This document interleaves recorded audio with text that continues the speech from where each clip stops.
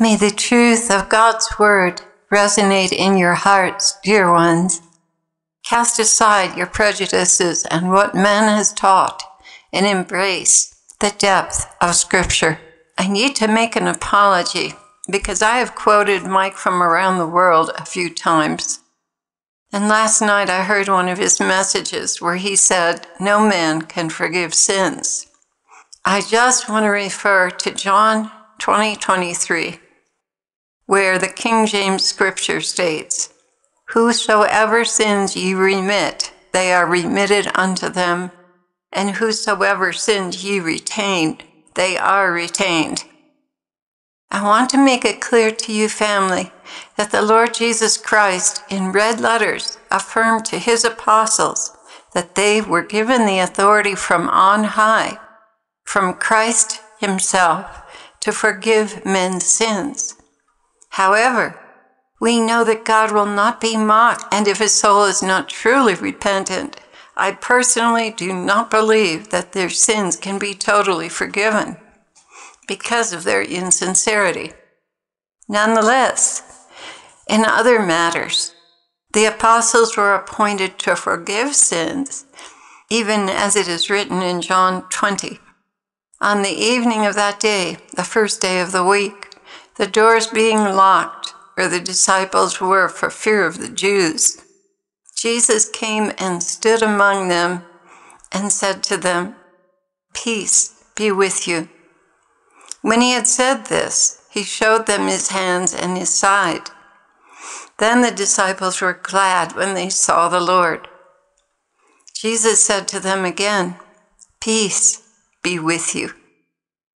As the Father has sent me, even so I am sending you. And when he had said this, he breathed on them and said to them, Receive the Holy Spirit. If you forgive the sins of any, they are forgiven them. If you withhold forgiveness from any, it is withheld. End of quote. That's just plain scripture, dear ones, and in all things we must adhere to scripture, especially when they are the words of Christ Himself. I'd like to refer you to the seventh episode of the Chosen series by Dallas Jenkins. They have an app for it and it's on YouTube. And particularly the scene where the Pharisee was thinking, no man can forgive sins, because Jesus was about to heal the paralytic. And here is the story. A few days later, when Jesus entered Capernaum, the people heard that he had come home. They gathered in such large numbers that there was no room left, not even outside the door. And he preached the word to them. Some men came bringing to him a paralyzed man, carried by four of them. Since they could not get him to Jesus because of the crowd, they made an opening in the roof above Jesus by digging through it and then lowered the mat the man was lying on. When Jesus saw their faith, he said to the paralyzed man, Son, your sins are forgiven. Now, some teachers of the law were sitting there, thinking to themselves, Why does this fellow talk like that? He's blaspheming. Who can forgive sins but God alone? Immediately, Jesus knew in his spirit that this was what they were thinking in their hearts, and he said to them, why are you thinking these things? Which is easier, to say this to the paralyzed man, Your sins are forgiven, or to say, Get up, take your mat, and walk? But I want you to know that the Son of Man has authority on earth to forgive sins. So he said to the man, I tell you, get up, take your mat, and go home. He got up, took his mat, and walked out in full view of them all. This scene is portrayed word for word by Dallas in the Chosen series, and it really catches the atmosphere around the religious spirit of the Pharisee that was at the window criticizing him. Now, I want to share with you that the only reason I've listened to Mike from around the world is because he has very accurate information on the sciences that affect our planet, especially geology, astronomy, and the magnetosphere, and as well as understanding movements and repercussions of the solar system moving around, which is so unstable right now. Other than that, I cannot endorse his teachings, though I really appreciate his very direct approach to getting us all to walk what we talk and be authentic Christians. The world is going to need us to be authentic when these things come upon it. He is also taught on the stability of a true believer, even when the world around him is falling apart. Dear ones, we must be very serious about our prayers for the world and our elected officials, and we must have a deeply personal relationship with Jesus and obedience to Him. He's our anchor on the stormy seas of life, as well as the Holy Spirit being the captain of our little vessel. Mike also made a statement about Mary. Mary can't save you. And he's correct. Our Lady was not the one who died on the cross, although she is the one who most closely suffered watching her divine Son give his life's blood in agony to atone for our sins. But again, I must point to several scriptures where the Lord outlines her role in the church. The wedding at Cana, she was presented to the world as the intercessor who petitioned her son to do a miracle, which for him was out of season. He was not ready to do that. In other words, what Jesus would not do on his own, for he certainly knew they were low on wine. He did because the person who asked him had a privileged relationship with him. So, this is the story. On the third day, a wedding took place at Cana in Galilee. Jesus' mother was there, and Jesus and his disciples had also been invited to the wedding. When the wine ran out, Jesus' mother said to him, They have no more wine. Woman, why does this concern us? Jesus replied, My hour has not yet come. His mother said to the servants, Do whatever he tells you. Now, six stone water jars had been set there for Jewish rites of purification. Each could hold from 20 to 30 gallons. And Jesus told the servants, Fill the jars with water. So they filled them to the brim. Now, draw some out, he said, and take it to the master of the banquet. They did so, and the master of the banquet tasted the water that had been turned into wine. He did not know where it was from, but the servants who had drawn the water knew. Then he called the bridegroom aside and said, Everyone serves the fine wine first and then the cheap wine after the guests are drunk. But you have saved the fine wine until now. Jesus performed this, the first of his signs, at Cana in Galilee. He thus revealed his glory, and his disciples believed in him. That's the second chapter of John. By the way, this incident is portrayed superbly in the Chosen series by Dallas Jenkins. It's simply wonderful. I've watched it over and over again, really authentic. It gives you a great look into the Jewish tradition and what life was like back in those days, and certainly what a Jewish wedding was like. Moving on, Mary knew her son very well. She needed no verbal confirmation from him, yet in her heart, she knew he would perform this miracle. That's why she told the servants to do whatever they were told. By the way, in her apparitions and messages around the world, she is still telling us to do what we are told to do by Jesus. She knows what pleases him. And I believe she is also very much the mother of the bride.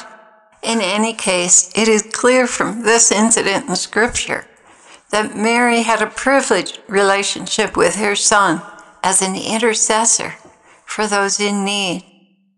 Guys, the body of Christ outside the liturgical churches has gone out of its way to discredit her and turn people away from her intercession.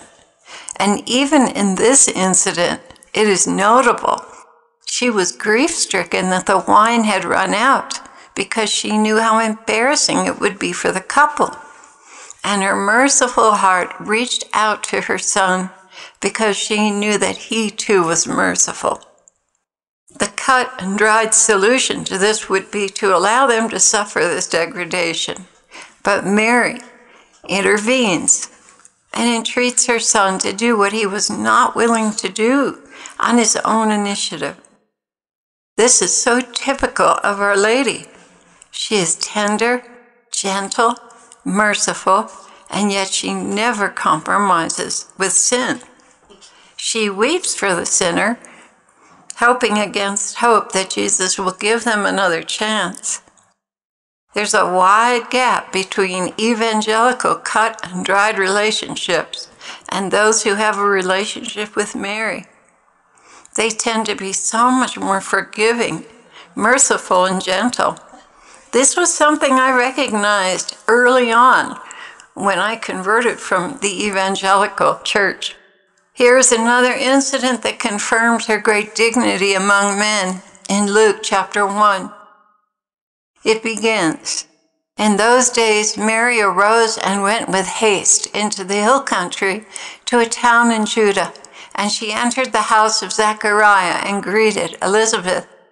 And when Elizabeth heard the greeting of Mary, the baby leapt in her womb. And Elizabeth was filled with the Holy Spirit.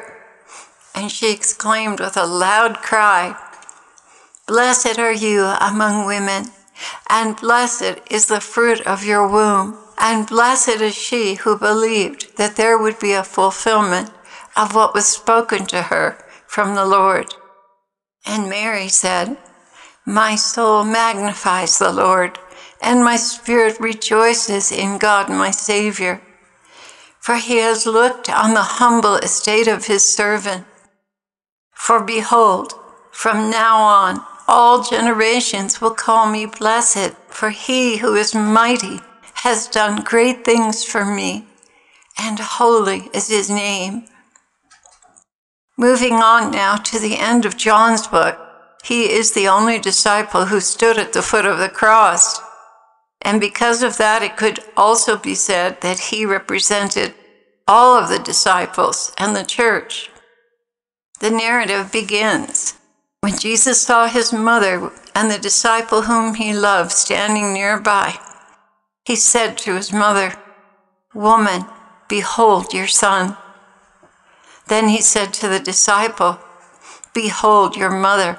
And from that hour, the disciple took her to his own home. That's from John 19. I believe this was symbolic of Mary's role, not only to John, but to the disciples as well, and eventually the entire church. And traditionally, uh, Luke's gospel is accredited to Mary. And he got his information from her because he was not a part of the disciples at that time. You may argue that point, but I want to remind you of what happened the night before when Jesus washed the disciples' feet. He did that to show them what their relationship should be with one another. And it was an example of how he uses seemingly unimportant actions and words to symbolize and mirror a greater truth. The Lord has promised that those who are faithful on this earth shall receive greater rewards in heaven. In Matthew 25 23, his master replied, Well done, good and faithful servant. You have been faithful with a few things. I will put you in charge of many things. Enter into your master's joy. Are these not the words we all long to hear in that fateful moment when we stand before our Lord and our works are judged? Now, if Scripture declares Mary the mother of Jesus, as being blessed by all generations. It stands to reason that she is also blessed right now in this generation. And this implies she did well with what was entrusted to her. Therefore, I believe she will be given greater duties and appointments in heaven. What I'm trying to say, dear heart dwellers, is of course Mary has not the ability to save anyone, since only the blood of Jesus and his suffering on the cross opened the gates of heaven and paid the price for our sins. He is our redemption. However, she does have an expanded authority given to her from her Son because she was faithful on earth. That significantly works in the favor of those who are petitioning her for a miracle out of season. In other words, a miracle that no one deserves, but that is given into her hands to dispense because of her faithfulness and great honor in heaven. Therefore, she has the privilege of drawing on the great storehouse of graces her Son has accumulated for his angels and servants in heaven to distribute according to their office and function in the established order of his kingdom. Putting it another way, in a healthy family environment, if a son wants to ask a very big favor from his father, and he knows his father is not well disposed to give it, who will he go to? His mother, of course. She has a relationship with the father that is highly favored. And if she asks, she is more likely to have the request granted than the son. All of us, dear ones, all of us will be given more to do in heaven based on our faithfulness on earth. All of us will wear crowns and cast them at the feet of God. So there is nothing that implies that Mary cannot be a queen in heaven. Where we get confused is that Satan has a personage he calls the Queen of Heaven, who is nothing more than a filthy demon with that title. So let us be sure when addressing Our Lady, Queen of Heaven, it is Mary herself that we are addressing as our intercessor in our petitions. And do not be fooled by the empty argument that there's only one mediator between God and man, Christ Jesus. To say that in the context of excluding intercessors makes absolutely no sense since we are told to pray without ceasing, to imitate Christ who is in heaven, who prays without ceasing.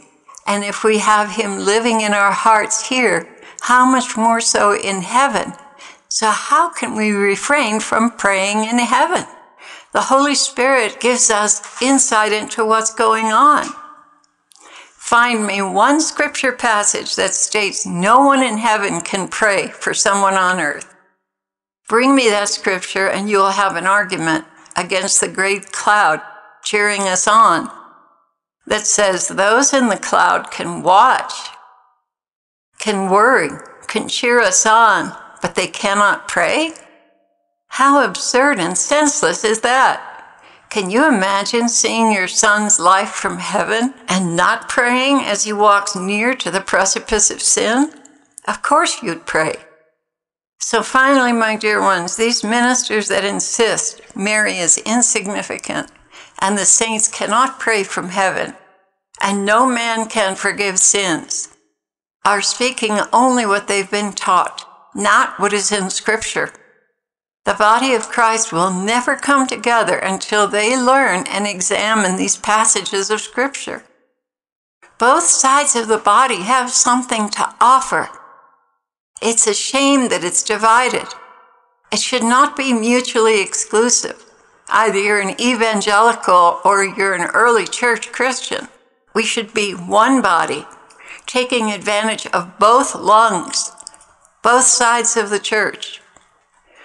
The body will never come together until they learn and examine these passages of Scripture, lay down their personal opinions independent of the Word of God, and like the Jews need to repent for rejecting their Messiah, They need to repent for rejecting the order of the kingdom of heaven that God has established, especially the great cloud of witnesses praying from heaven and the set apart and appointed privilege of Our Lady in heaven, the soul whose womb God's only begotten Son was entrusted to by our Heavenly Father.